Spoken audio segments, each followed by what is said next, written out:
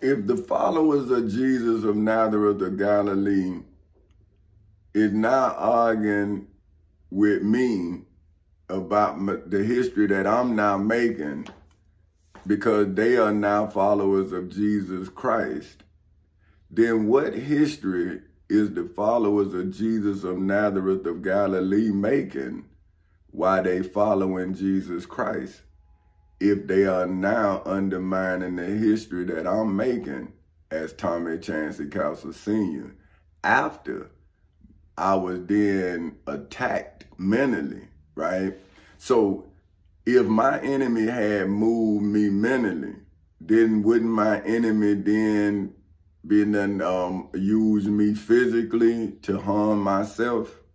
Now, I done been put by the state of Florida by and my family in a mental hospital six times, right?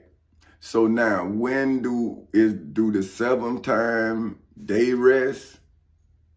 Right? So if you done tried to build a case against me mentally six times, so wouldn't that be creation? Wouldn't that be the end of creation? Now you done created on the sixth day, on the sixth time of your attack of me mentally. Now look at all these people you done created. See, because now you can't afford the truth because of the lie. And now I'm a victim of your inability to tell the truth.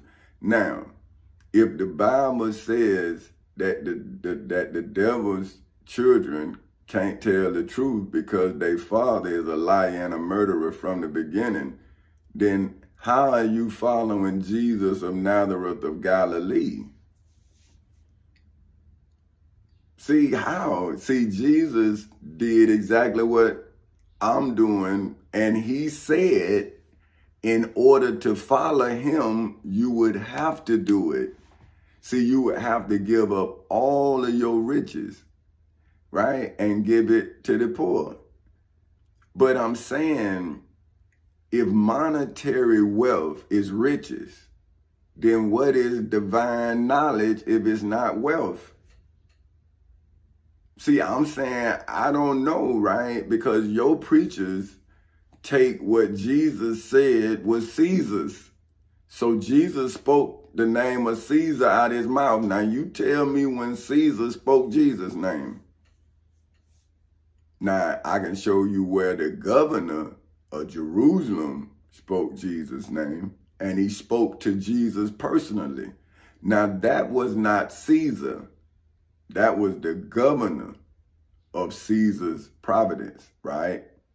Now, I can show you in the civil and criminal courthouses in Seminole and Orange counties in the state of Florida, as well as in the federal courthouse in the middle district of Florida, where I brought the governors, not one governor, see, because it's over 15 years, but I done brought from Jeb Bush to Ron DeSantis to court to, to, to stand before me and give me back my rights. Now that's the governors. That's the that's a chain of Pontius Pilates. then I called Caesar, for whom if Jesus was me, he'd have had to send a a, a, a, a mental message 1,434 miles and hit Caesar right in the understanding and have Caesar then send that same mental message to Pontius Pilate and say, don't touch him. But that didn't happen, right? But I can show you by affidavit that I sent to Donald, to Donald John Trump and made him come to to the in the federal courthouse in the middle district of Florida and answer me on on February 20th in 2018 at 9:20 in the morning. And I can show you where his federal judges started lying just like Pontius Pilate because they was afraid of the people see they ain't afraid of God man they afraid of y'all, see, because they know in order for them to get to carry out their deceitful stuff, see, they need the masses to go get Jesus. Read it. They they paid Judas 30 pieces of silver. Now this not Rome. See, this why Rome ain't got nothing to do with the crucifixion of Jesus. Man, you can read the story. It was Judas, an inside man See, that's why I want to find out who my Judas is. But see, now y'all, oh, he want to kill everybody. I'm saying, how? I'm in court separating the sheep from the goats. See, either you believe in the Bible or you don't. If I'm in court and and I was a plaintiff on October 4th, 2007, Bill Heard Chevrolet stole my car in 2006. So I bought that car and I think it was July 2006 because it was after I had finally finished building the house. I was rich. I went and bought my dream car and I had found it one morning. My daughter and I, I had already, I went to go buy because I thought I couldn't find it. I went and bought a brand, I had ordered it, a 2008 Corvette. I ordered it, put $2,000 down on it. I was going to buy my, I was saying, well, I couldn't get what I wanted. So I went and I'm taking my daughter to school and saw the Corvette. I saw it. I went, called the number thinking that the dude wasn't in there because it was like six something in the morning. The dude answered the phone. I'm like, what? He said, yeah, I'm here now. I said, you you there? I, he said, yeah. I said, man, I want the Corvette. He said, he said, well, what you got? I said, I offer 10000 He said, man, well, they just turned that down. I said, all right, man, I'm offering 10000 and he said, well, man, if you had, you know, put something down on it, you come back. I said, no, I'm right down the street. I turn around. I had $100 in my pocket. I gave him the $100. We signed a contract. By, by, by 12 o'clock, man, that day, man, he said, man, I don't know, man. He said, but bro, they accepted the 10000 Man, I got my daddy, went to the bank, got $10,000, came and paid the people. Off the line that the bank closed. See, so that's why I saw it as a blessing. I saw it as like, man, they stole my gift to myself, right? They stole my dream. And now I get to bring my purpose and, and manifest it that I wanted to save my people and I wanted to be a lawyer. See, that's what I kept saying. It was a perfect storm, man, until my people got involved. See, and, and they 180 degree understanding, they destroyed 15 years of grace and mercy based on what? Belief in, in a story. But what about the story I'm writing?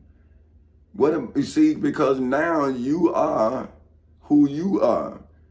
You played yourself in this passion of Christ. See, I couldn't feel the pain I felt without the people that cared about hurting me.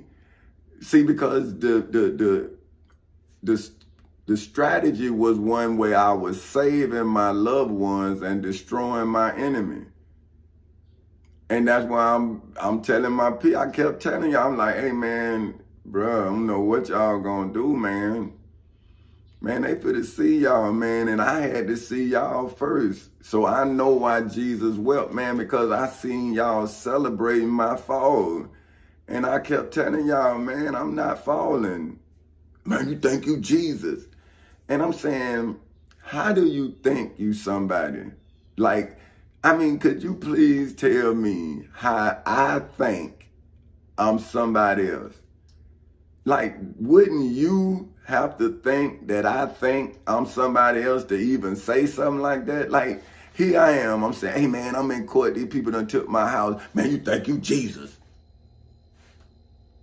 And, and, and you like, where did that come from? Like, I think, um, so that show you the devil in a man.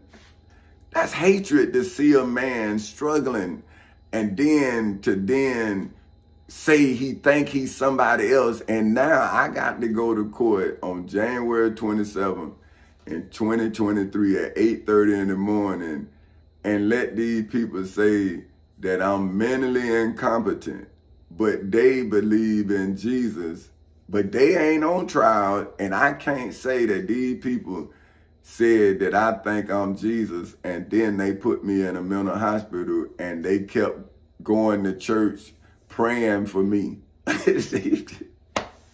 uh, you to put me in a mental hospital, you go to church praying for me. But you never listen to me. So what are you praying to God for on my behalf when you letting the crime happen in the name of Jesus?